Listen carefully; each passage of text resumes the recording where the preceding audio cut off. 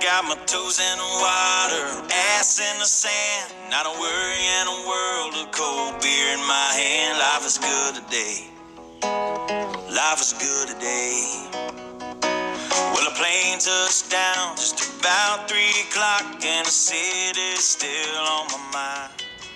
What's up everybody? Coming to you live from Bamboo Beach. Check this place out. How cool is this? Bamboo Beach. We just rode the scooters up here through the island for a little bit. Uh, we stopped at this spot right here. We're gonna have a beer for a little while uh, and probably continue pushing down a little bit further, but this is incredible. Just a small, well actually it's not small. It's a pretty decent sized long beach uh, called Bamboo Beach, but there's just, there's just nobody out here. Incredible, right?